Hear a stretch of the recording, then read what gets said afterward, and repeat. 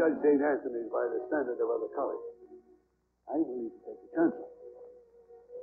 Well, the trouble with us, Father, is that I'm a sensitive man and you're a gambler.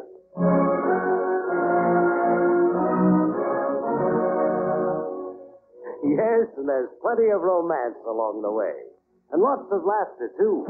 When John Wayne takes over the worries of a college that's long on problems, but short on cash.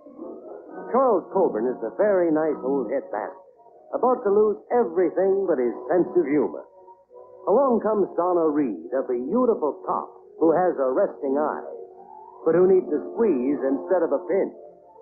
And adorable Sherry Jackson, who tries to make the big man live up to a little girl's ideals. And coming your way, too, is the warmth and wonder of a heart cheering story about men who placed their faith in a man who had almost lost his. Now, I'm sure with a little faith, all of our other difficulties will disappear. Now, won't you help us? Gentlemen, for a moment, let's dispense with the rosy glasses of childish optimism and look at this thing calmly. You flipped your lid.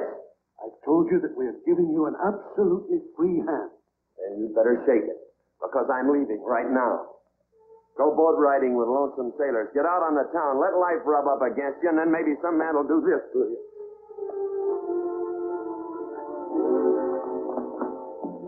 What you wanted, didn't it? What made you believe that you could save St. Anthony by destroying the very things it stands for? Father, I've been through this so many times, it's like old home. Let's just call it quits. I want you to know this, Father. I'm not ashamed of anything I've done.